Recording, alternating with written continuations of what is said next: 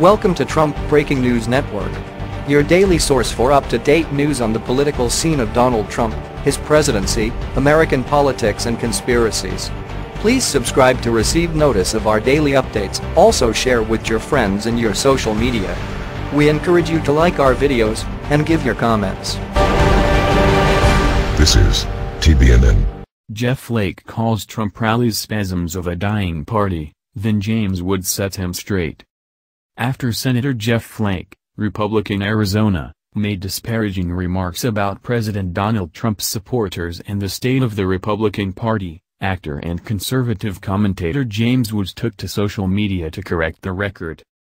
Flake, who announced earlier this year that he would not be seeking re-election, spoke on ABC's This Week about the type of people who attend Trump campaign rallies suggesting that the GOP must attract other demographics besides older white men or else face demise.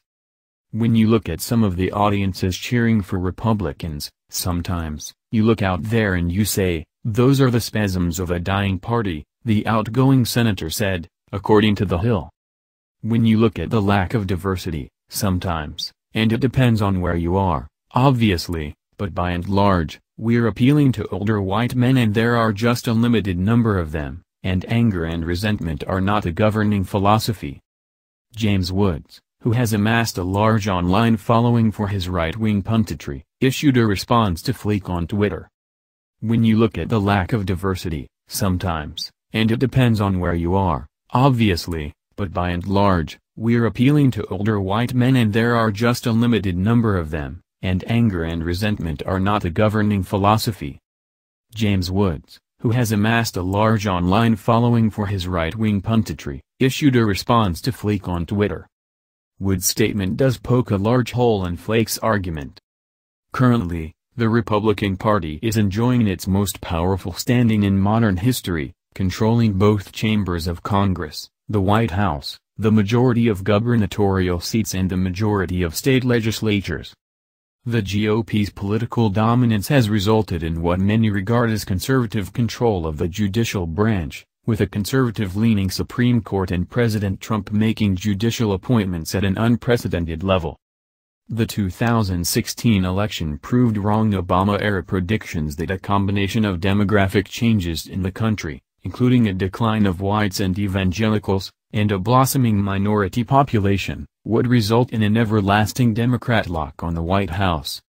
Contrary to almost every mainstream forecast, Republican Donald Trump won the presidency over Hillary Clinton, the Democrat nominee, while Republicans were able to maintain control of the House and Senate and even made gains in down-ballot offices.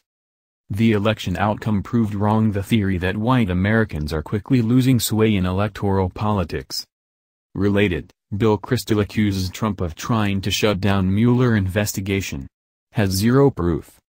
However, since announcing his intention earlier this year to retire from the Senate, Flake has become one of Trump's biggest adversaries from within the Republican Party, frequently sparring with the president publicly.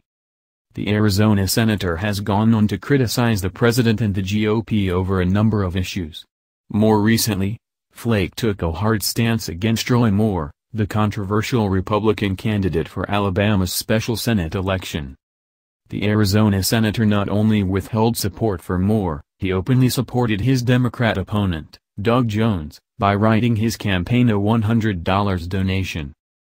Flake was to run for re-election in 2018, but with polling numbers that showed him deeply unpopular with Arizona Republican voters, he announced in October he would instead retire at the end of his term. What do you think? Scroll down to comment below. This has been the Trump Breaking News Network. Please subscribe and share to stay up to date on the latest news about our president. Be informed.